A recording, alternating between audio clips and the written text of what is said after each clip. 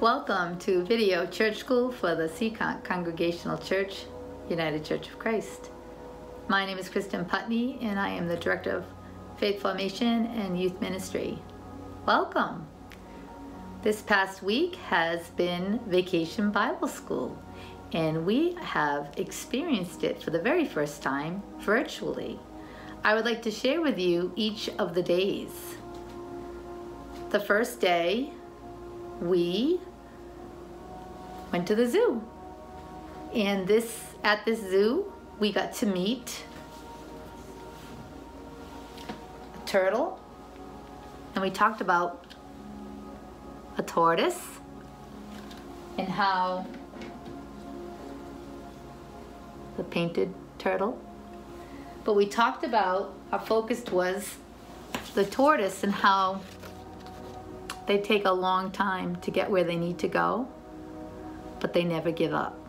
And that is our theme. Never give up, never quit, because God never gives up on us. In our Bible verse,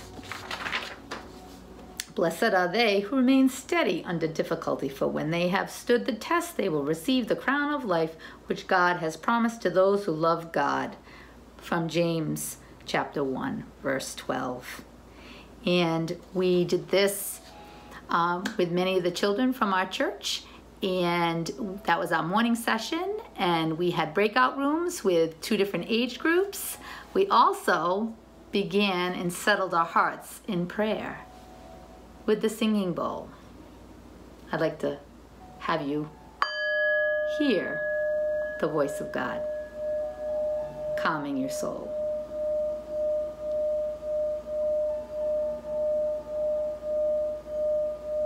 Loving God, be with us always. Calm our hearts and souls and minds. And may we always know you will never give up on us. And therefore, may we never give up on our dreams and our, on our perseverance to move forward. We ask for your blessings. Amen.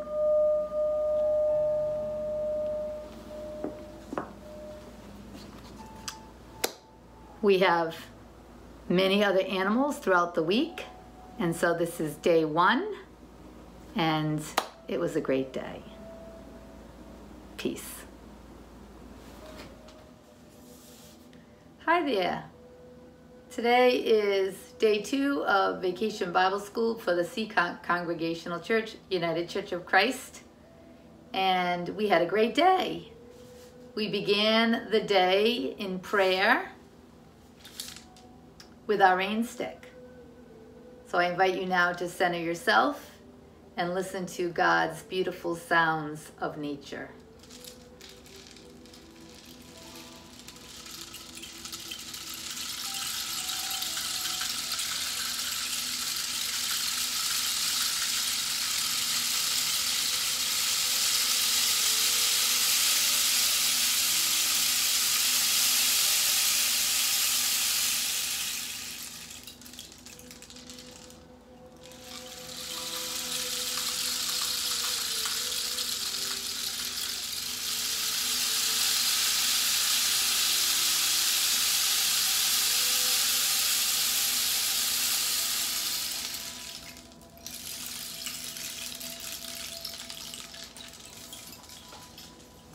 Today, on day two, we focused on another animal at the zoo. Today's insect is the butterfly.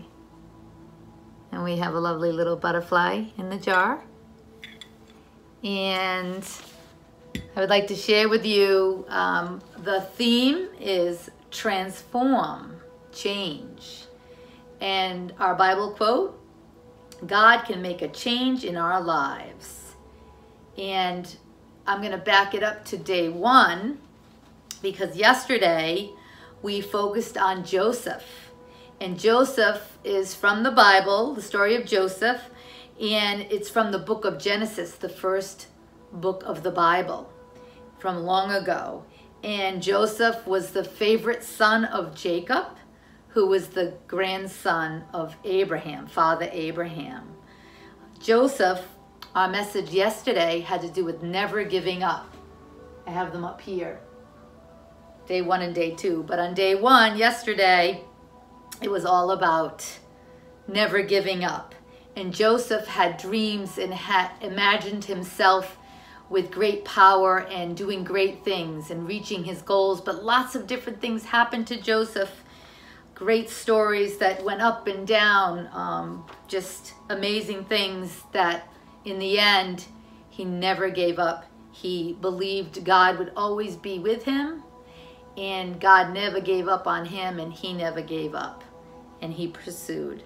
Um, I wanted to mention that yesterday, the afternoon session, we made, uh, what did we make? We made freeze pops. And that was the idea that it had to take time to freeze. And so we put several different juices together and put them in the freezer. And sure enough, the next day, the kids had freeze pops. We also made this delicious uh, blue jello. It was called uh, Sand and Ocean dessert. And it had Cool Whip and uh, crackers, or little vanilla crackers that were uh, crushed to look like sand. And we had a little gummy uh, marine animal on top. All good stuff to eat. So today, as I mentioned, we are talking about transform. God can make a change in our lives and it's a story that it has happened a long time after the story of Joseph. It was after Jesus died and the disciples were creating the new church. And we learned that the story is about Saul and he was known as a bully. That's a familiar word for the kids. And we talked about how people can be a bully and uh, they can bully you in school perhaps and um, change needs to happen and so with saul in the bible he didn't believe in this new church and so he persecuted anyone that was a follower of jesus. And but something happened. A bright light came and knocked him over and he couldn't see for three days and he couldn't eat or drink and it was so impactful that he was transformed just like our theme animal or insect, the butterfly. First, the butterfly was a caterpillar and then was transformed into a beautiful butterfly. Saul persecuted those who followed Jesus and like the caterpillar and then turned into the butterfly and was transformed um, with the light and follow he became a, a follower of Christ. He was a powerful supporter and writer and helped the new church grow. We also made today to talk about transformation. We looked at a bowl of powder and we added a liquid and we stirred it up for several minutes and all of a sudden it was a lovely treat to eat. It was pudding. And so all the kids virtually had their own pudding in their supply pack and ate their pudding. We also had a bowl of water and we talked about changes that all of us could make. Uh, certainly as we follow the ways of Christ and we know God, we do want to transform and we do tra transform. And so we talked about some of the qualities um, and we wrote them on a piece of paper and we put them inside this water and they dissolved. So on the paper we wrote lazy, that once dissolved turned into being active. Greedy, we put it in the water. It dissolved and we were transformed that we wanted to share. Being mean transformed into kindness, being kind. We wrote the word selfish, being self-centered. It's all about me.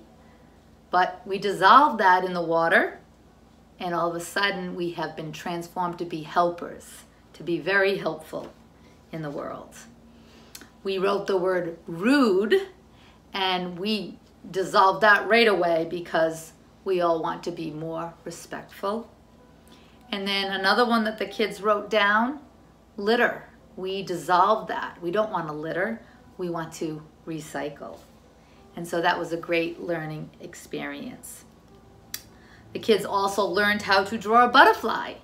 Um, they were instructed how to do that. And then they were also, uh, we had a show and tell in the afternoon session. And they could show and tell any kind of art creation that had to do with butterflies. And they could also show and tell their animals, their pets. So we had um, a butterfly, we had dogs, cats, a fish, a lizard. And so here is one of the pets. It's a, it's a, let's see, it's a butterfly. Let's see if it's gonna move up. There it goes. So today was a great day of learning and growing deeper in our faith. Hi there. Day three for Vacation Bible School. Today we had a great day. Our theme animal is the parrot. And we actually got to meet three parrots. This one and then two live parrots virtually. The Inman boys and their mom Stacy shared with us their pets and we met Clyde and Sebastian, beautiful parrots, and they um, told us all about how they live in their home and they fly and they talk and they take a bath and they eat nuts and it was great fun. We also learned this morning our theme is don't worry. Let go of worry and focus on God. So we spent some time thinking about what worries us. And um, many children have anxiety, many adults have anxiety. So we decided that we would talk about um, different things maybe when you're in school. How does that feel? Do you worry about things? Do you have, are you anxious? And so they did say yes. They they sometimes um, worry about their friends, being with their friends. Do they look the right way? Are they saying the right thing? Are they playing sports the right way? They worry about their teachers. Are they doing the work correctly? Um, so they worry about clothing and hair and friends. And then certainly right now, they do worry about the world that we are in. So this was a perfect theme. We just had a storm actually yesterday. And so um, we woke up and many of the children didn't have power. Some children weren't able to come on to Wi-Fi. But the theme today was don't worry. Um, but during uh, the, those who could arrive um, through the virtual experience, we did a, an activity together. We painted with Q-tips. And so this says, let go of worry and focus on God. We also read from the Gospel Matthew. Uh, we read from chapter 6, verse 25. Do not worry. Therefore I tell you, do not worry about your life, what you will eat or what you will drink, or about your body, what you will wear. Is not life more than food and the body more than clothing? Look at the birds of the air. They neither sow nor reap nor gather into barns, and yet your God feeds them. Are you not of more value than they? And can any of you, by worrying, add a single hour to your span of life? And then further on in the chapter, verse 31, Therefore, do not worry, saying, what will we eat? What will we drink? Or what will we wear? For it is the Gentiles who strive for all these things, and indeed your God knows that you need all these things.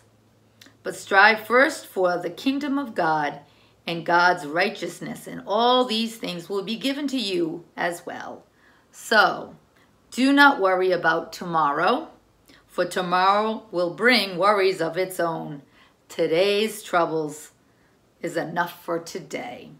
So that's what we focused on, not to worry. We also had uh, a meditation and I had them close their eyes and we listened to sounds that were around us. And, and then I somewhat played um, a little game with them. I had them close their eyes. So close your eyes and listen to this. Okay, open your eyes. Did you guess a little chime? Yes, it's a little chime. Close your eyes again. This is what I had the kids do.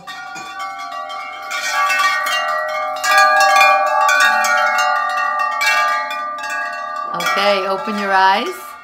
Yes, a bigger chime. They thought they were in a church.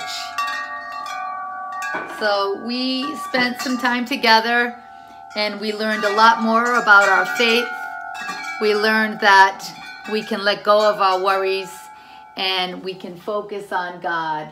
And the parrot is such a cheerful, um, talkative creature. And so we learn from the parrot just to be chill, not to worry about a thing.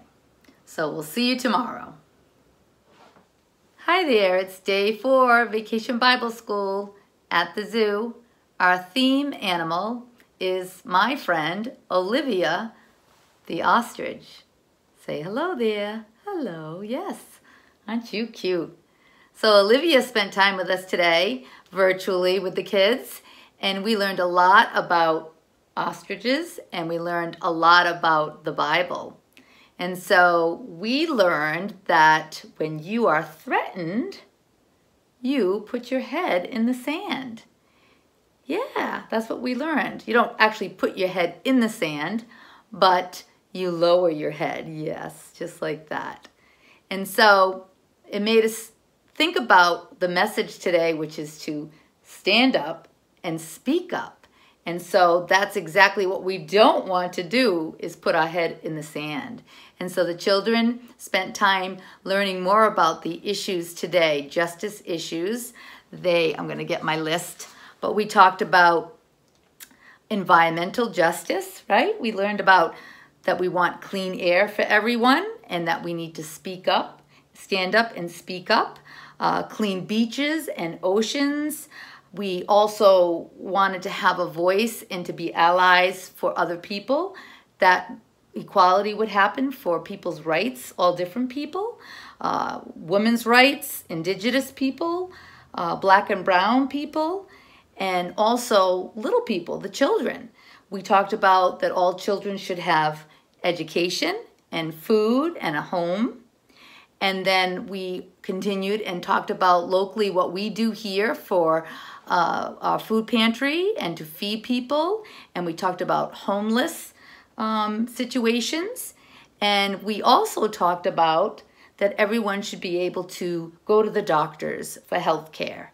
And so um, we briefly talked about a lot of different parts of uh, justice. And we also had Bible scripture today. And we learned a story about um, someone that didn't want to be a hero, but was called by God, just like many of the stories in the Bible right? Gideon did not was just a farmer and he was chosen by God to save the Israelites. And so our message today is up here and it says stand up and speak up. To do for the least is to do for Jesus. And so I'm going to put you over here and I wanted to show you we also spent time we played a game which we had to dig for all of these items in, a, in the sand virtually, and they represented the different just, justice issues. Here's the little baby, um, for the children, the world. Um, we have a peace rock. Um, we have, what else do we have in here? Um, let's see, love your neighbor. There's a heart. That's a little heart. We have, oh, bell of freedom. We dug in and we pulled up the shell and we dug up the fork, which is to feed people, um, justice issues for diversity and uh, the beach with the shell and clean drinking water for everyone. So that was kind of fun with the kids. And then we spent a little bit more time. Um, we ended up having, let's see, oh, they just had their we talked about here's the theme animal. They get to color that. And then in the afternoon, we had fun with, we did art with, we painted with feathers. And we had an artist come in, Sophia Rustemeyer, who used to be a church school uh, child, and she is now, she's graduated, she's um, looking for an art job, an art teacher um, career, and she was fabulous. And so we have this here. It's feather painting. And here's another one with feather painting. And then we have, this is stamping. And here's another stamping. So the kids had fun doing that. They were given all the supplies ahead of time, and that was quite fun.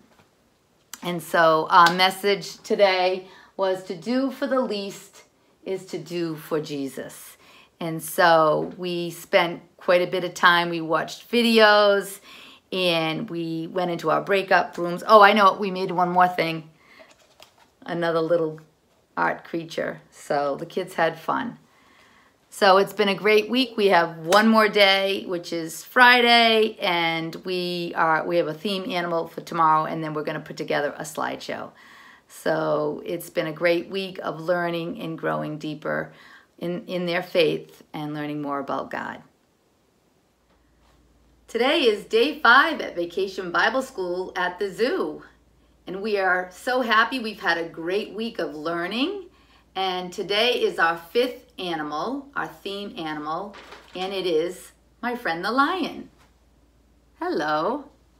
So today we focused on a story from the Bible that was about a lion, the lion's den, and the story teaches us about God always being with us. And so Daniel uh, prayed to God daily, and in that time period, the king said um, there were people that wanted to plot against Daniel, and so they decided to say, No, you cannot pray to God, you can only honor the king. And sure enough, Daniel continued to pray, and he was persecuted, and he was thrown into the lion's den. And of course, he prayed to God, and the next day, he did not die. He was thriving and alive and honored God. And so that was the message.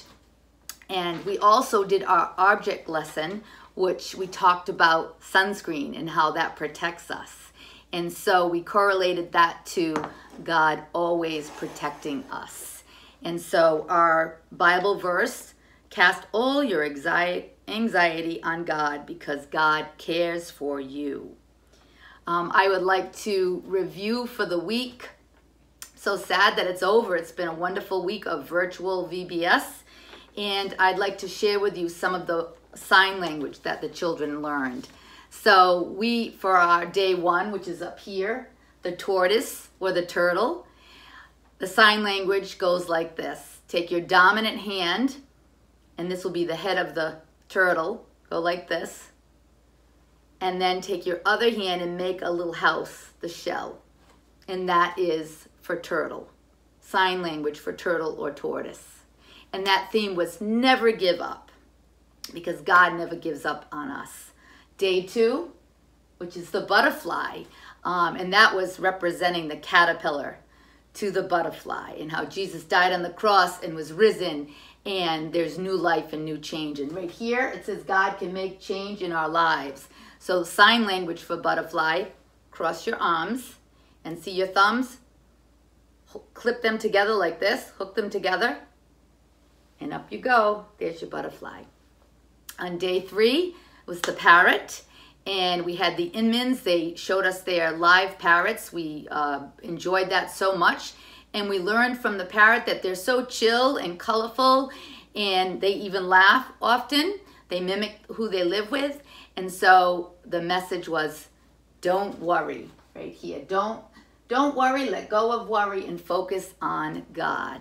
And the sign language for parrot is parrot. Day four, yesterday, was the ostrich. Stand up and speak up was the message. And to do for the least is to do for Jesus. And so sign language for an ostrich is like that. See? There it is. It mimics it. And so for the lion today, this one's kind of neat. I like this one, but you have to do it correctly. So let me take my hat off. Whoops. So you're to take your hand like a five, curl it up, put it right in front of your forehead, and we're to represent the mane of the lion. We're to bring it up and around, but we're to turn our fingers up like that and back. So this is lion. Lion. And so we are we celebrated the lion We learned about the lion and the story from the Bible. And the message is God cares for you.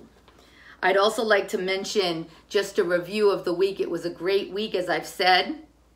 And we did many things each day. We had time in the morning, then we had a break, and then many of the kids came back on for the afternoon, which usually involves some sort of craft or food project or show and tell.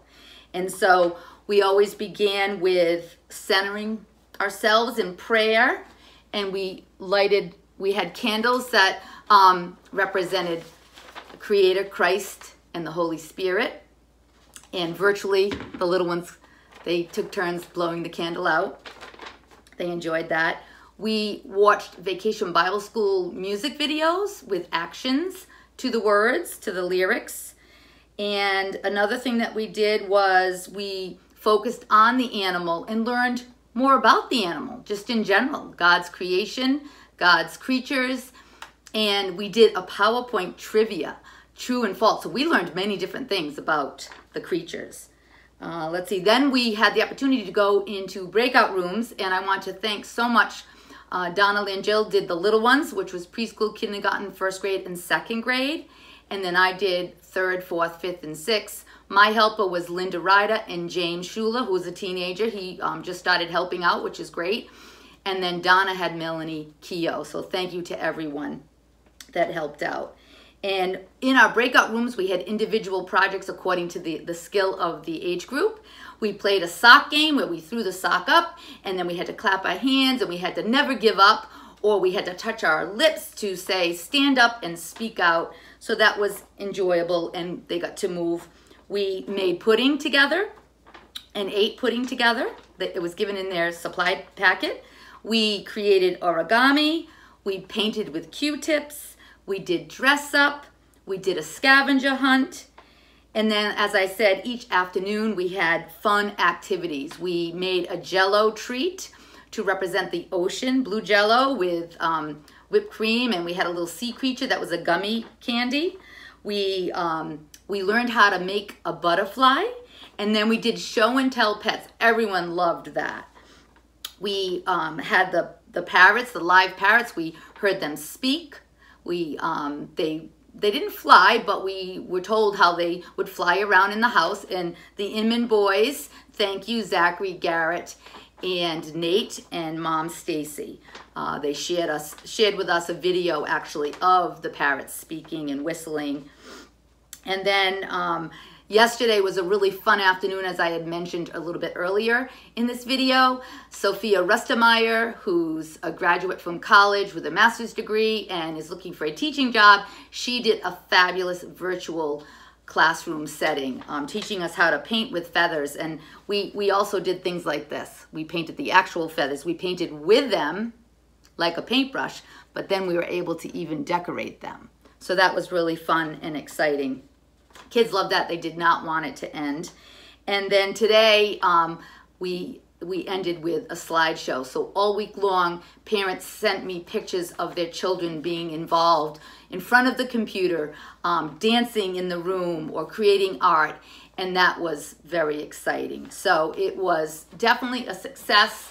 And um, now that we are doing things virtually, so many possibilities are um, out there for all of us to engage and come together. So blessings upon all of you, and we hope to do this again. Amen.